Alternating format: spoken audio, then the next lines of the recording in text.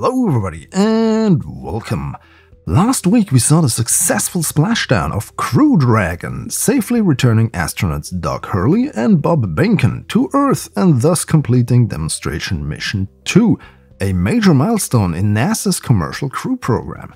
This, of course, prompted me to reenact this momentous occasion in Kerbal Space Program as seen here, where a replica of the recovery ship GO Navigator grabs a capsule and puts it safely in the so-called nest on board the ship. In reality, this nest is also on rails and was quickly pulled towards the crew egress platform where Bob and Doug were put on stretchers, understandable after being so long in microgravity, and then checked out by doctors. After that, they were transported back to shore via helicopter. If you're a space fan, you probably already know everything about this procedure and also about the problems that were caused by onlookers endangering themselves and the recovery operation by coming way too close to the splashdown site.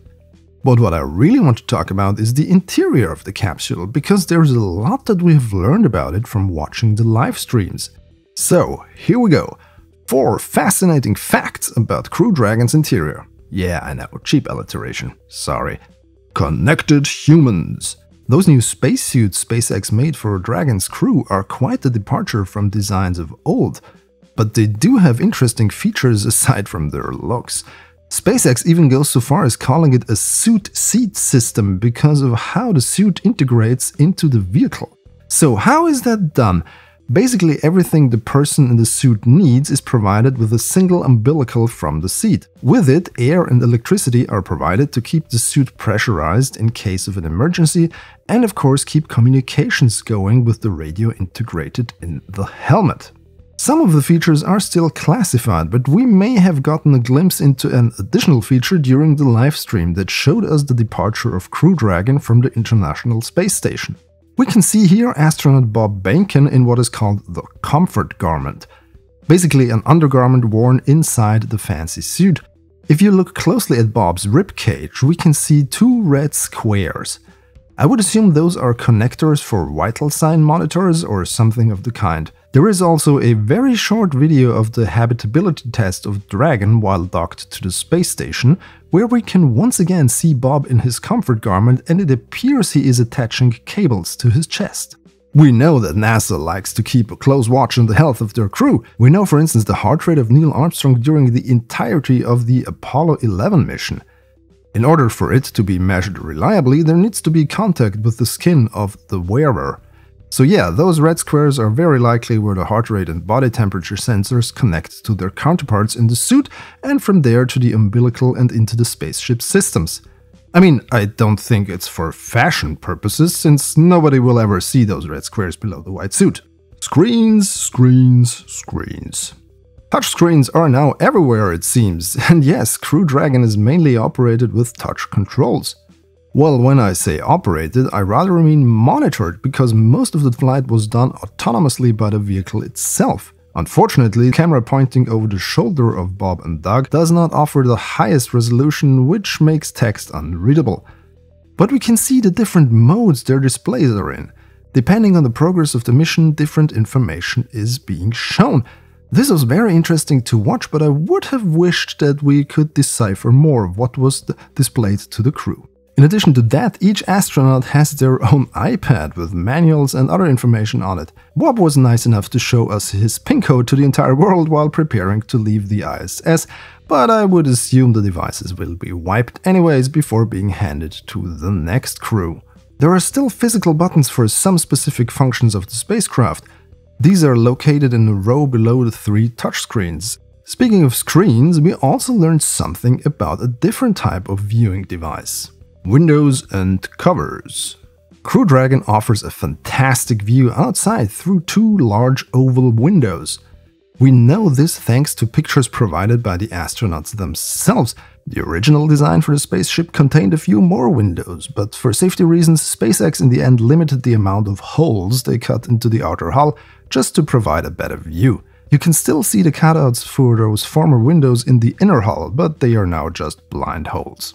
While it is desirable to have a great view of your surroundings, especially if you take a good look at the marvel that is Earth, There are downsides aside from those safety reasons. The trip from the ISS back to the surface took about a day and the crew was assigned an 8 hour sleep period.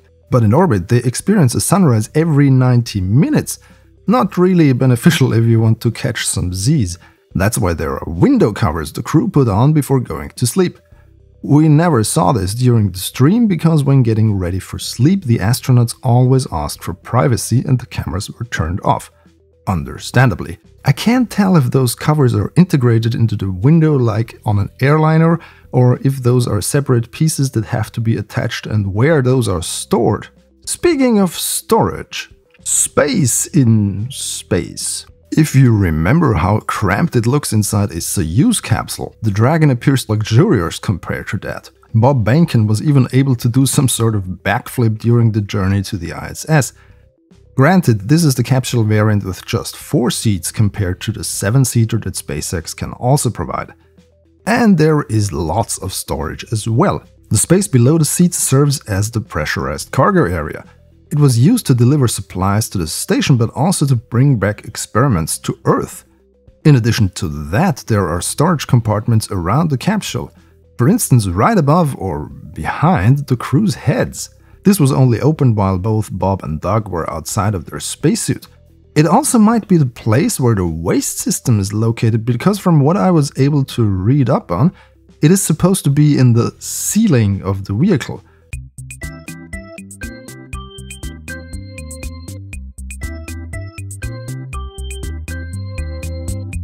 The equipment within that compartment behind the crew appears to contain some kind of toiletry and towels at the very least. One thing I noticed but appears to be common for spaceflight is that everything on board is catalogued. The crew repeatedly had to report what amount of which item they took from which bag, and everything is numbered. There is a person on the ground that can precisely tell the crew where they can find what and how much of it should be there. Maybe not the most glamorous of jobs during a space mission, but definitely a vital one. Speaking of vital, the success of this mission was vital for SpaceX and for NASA as well. It has proven that commercial launch providers can take astronauts to the ISS and bring them back home safely. Well, one at least. Boeing CST-100 Starliner vehicle still needs to perform another uncrewed and then a crewed test before NASA can start launching humans on it regularly. So, what's next for Crew Dragon? Well, after analyzing all the data gathered during the test flight, and yes, this still was a test flight, NASA and SpaceX will provide a final assessment and hopefully certify the vehicle for human spaceflight. After that, they will move on to the first real mission for the vehicle, Crew 1.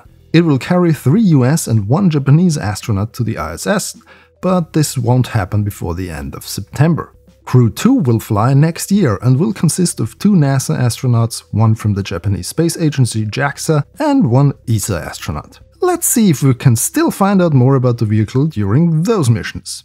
If you enjoyed this video, please subscribe to my channel for more and follow me on my social thingies. The links are in the description. Thanks for watching Goodbye.